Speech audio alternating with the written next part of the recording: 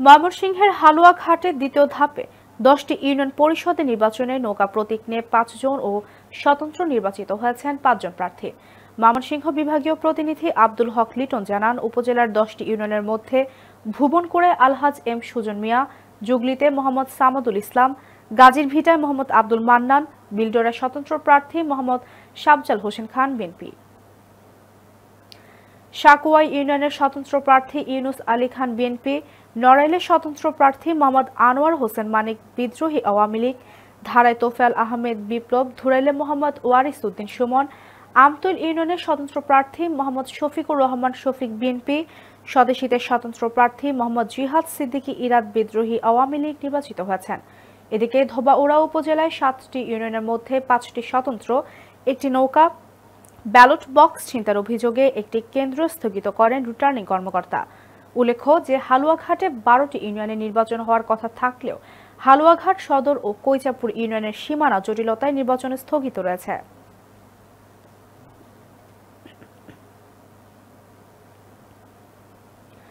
ঠাকুরগাঁও জেলার হরিপুর উপজেলার ছয়টি ইউনিয়নের চেয়ারম্যান পদে আওয়ামী লীগের মনোনীত বিজয় প্রার্থী দুইজন ও স্বতন্ত্র প্রার্থী চারজন বিজয়ী হয়েছেন। হরিপুর উপজেলার আমগাঁও ইউনিয়নে বাংলাদেশ আওয়ামী লীগ মনোনীত নৌকার প্রার্থী তালুকদার ও বকুয়া ইউনিয়নের বাংলাদেশ প্রার্থী আবু তাহের নৌকা মার্কায় নিয়ে বিজয়ী হয়েছেন।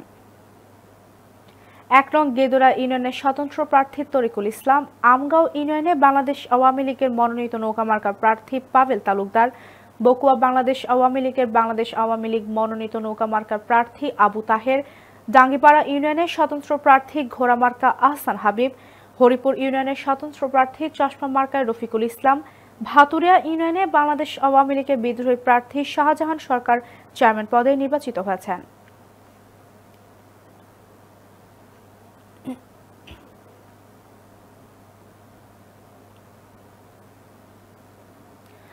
নারায়ণগঞ্জের ফতুল্লা লালখা এলাকার ভবনের গ্যাস লাইনের লিকেজ থেকে বিস্ফোরণে দুজনের মৃত্যু হয়েছে।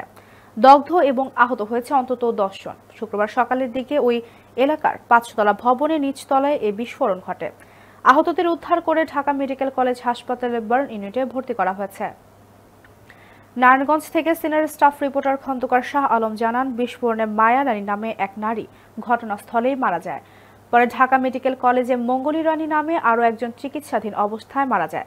বিস্ফোরণের আশেপাশের কয়েকটি ঘর ও দোকান ক্ষতিগ্রস্ত হয়েছে। এদিকে নারায়ণগঞ্জ ফায়ার সার্ভিসের সহকারী উপপরিচালক আবদুল্লাহ আল আরেফিন জানান, সকালে বিস্ফোরণের পর ওই ভবনের নিচতলায় আগুন লাগে। খবর পেয়ে ফায়ার সার্ভিসের দুটি ইউনিট এসে আগুন নিয়ন্ত্রণ আনে। প্রাথমিকভাবে ধারণা করা হচ্ছে ঘরের মধ্যে জমে থাকা গ্যাস থেকে বিস্ফোরণ ঘটেছে। তদন্তের পর বিস্তারিত জানানো হবে।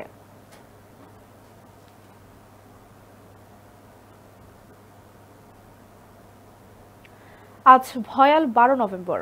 উনিশশো সত্তর সালের এই দিন রাতে উপকূলে আঘাত হানে প্রলয়ঙ্করী ঘূর্ণিঝড় ভয়াল গর্কি। বিভিন্ন ক্ষয়ক্ষতির পাশাপাশি প্রাণ কাড়ে দশ লাখ মানুষের।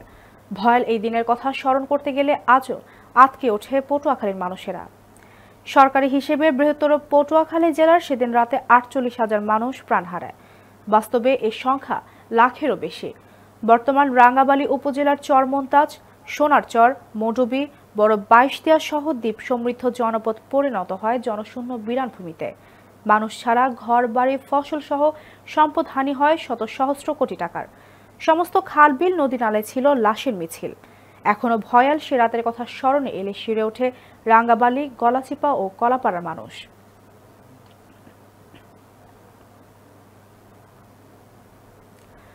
পটুয়াখালীর কলাপাড়ে উপজেলার যুবলীগের আয়োজনে সকালে স্থানীয় রাজনৈতিক কার্যালয়ে জাতীয় ও দলীয় পতাকা উত্তোলন সহ সংগঠনের প্রতিষ্ঠাতা চেয়ারম্যান শেখ ফজলুল হক মনির প্রতিকৃতিতে পুষ্পমাল্য অর্পণ করা হয়।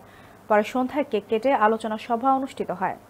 এ সময় কলাপাড়া উপজেলা যুবলীগের সভাপতি শফিকুল আলম বাবুলের সভাপতিত্বে ও সাধারণ সম্পাদক সাইদুর রহমানের সঞ্চালনায় প্রধান অতিথি ছিলেন উপজেলা আওয়ামী লীগের সাধারণ সম্পাদক আব্দুল মোতালেব তালুকদার। বিশেষ অতিথি ছিলেন উপজেলা যুবলীগের সহ সভাপতি গাজী মশিউর রহমান মামুন, সাংগঠনিক সম্পাদক সৈয়দ জাকির হোসেন সহ অন্যান্যরা।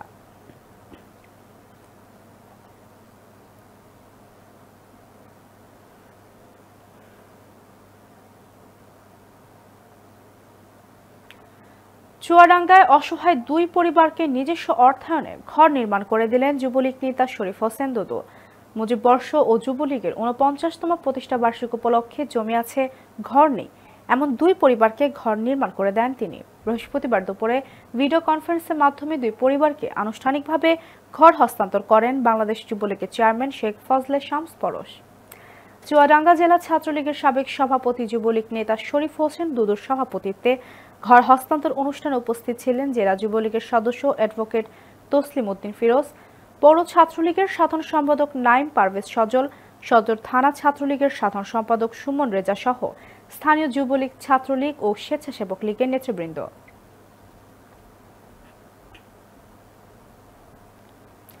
চট্টগ্রামের বাঁশখালী উপজেলার ছৌনোয়া ইউনিয়নের উপকূলীয় হোসানিয়া মাদ্রাসায় দু একুশ ব্যাচের বিদায় অনুষ্ঠান অনুষ্ঠিত হয়েছে।